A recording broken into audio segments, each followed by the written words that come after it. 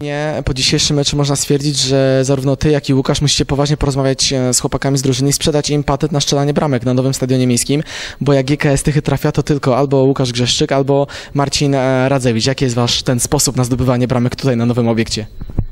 No to no pewnie na razie tak się złożyło, że ja się z tego powodu cieszę, że, że e, jakąś tam ramkę szczelę, coś dogram, o to w tym chodzi, wszystkim chodzi.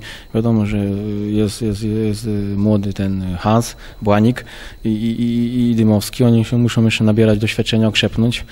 No ale też muszą, muszą, e, jak chcą zaistnieć, w końcu to jest trzecia liga, no, zaistnieć, to muszą też za coś, za coś, coś, coś postarać się coś uderzyć. No, my chcemy z Łukaszem jak najlepiej to rozgrywać wszystko.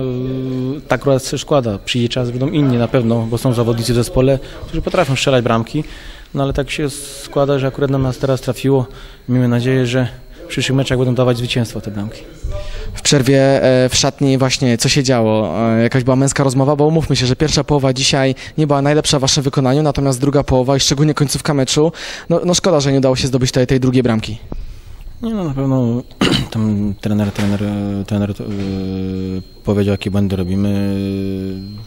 Było, było tak można powiedzieć pośrednio, ani spokojnie, ani jakoś ostro, bo krzyczeć każdy potrafi, ale sprzedać jakieś wartościowe uwagi już nie każdy, także była druga połówka, wszystko się mogło wydarzyć, mogliśmy ten mecz spokojnie wygrać, także nerwy, nerwy nie są tym doradcą tym, i dlatego trzeba było zrobić korekty jakieś i, i grać do przodu dalej, bo bo mecz się toczył, była jeszcze połówka. No, teraz to już jest za nami.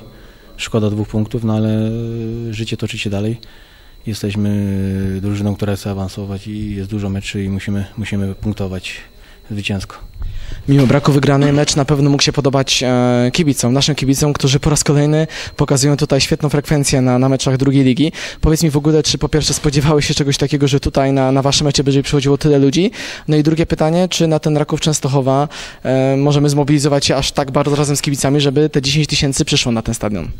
Na pewno y, tutaj wielki szacunek dla kibiców i, i, i pochwały za to, że nas wspierają, bo na pewno zabrakło to w tamtym sezonie, bo nie oszukujmy się, granie w Jaworznie to y, i było udręką dla nas i dla kibiców y, w ogóle organizacyjnie nie dało się pewnie rzeczy przeskoczyć. Mm, Wydaje mi się, jakbyśmy grali na stadionie, na pewno byśmy do dzisiaj byli w pierwszej lidze, a może nawet wyżej. Także kibice są, bardzo pomagają nam w ciężkich momentach. Na pewno wiadomo, też się nie- nieraz denerwują, bo chcieliby, żeby drużyna wygrywała, no ale my chcemy robić swoje.